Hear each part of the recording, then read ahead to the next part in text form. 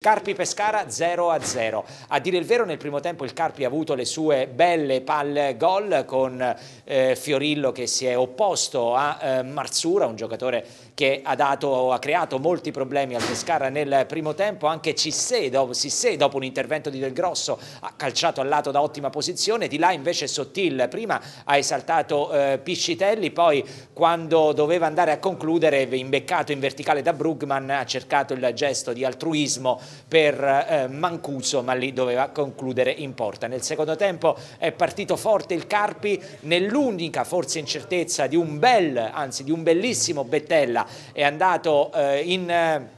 in porta il Carpi ma la conclusione da ottima posizione è terminata di un soffio al lato poi nella mezz'ora finale lo show del Pescara. Tante opportunità la più nitida sponda di eh, Bellini per l'inserimento di Brugman pennellata del capitano biancazzurro Bellini da 0 metri 0 a porta vuota ha clamorosamente alzato la mira. Poi la conclusione a botta sicura di Sottil miracolo di Piscitelli palla sulla traversa in precedenza sugli sviluppi di un corner di Sottil a colpo sicuro Crecco, salvataggio di Sabbione sulla linea a tempo scaduto, numero di Capone sull'out di sinistra, cross bello, basso, invitante, un cioccolatino che Sottil non è riuscito a scartare per un attimo a porta vuota, è arrivato con un attimo, attimo di ritardo, bisogna per dovere di cronaca dire anche di un super intervento in anticipo di Perrotta su Vano quando il Pescara era sbilanciato. Finale Carpi 0, Pescara 0.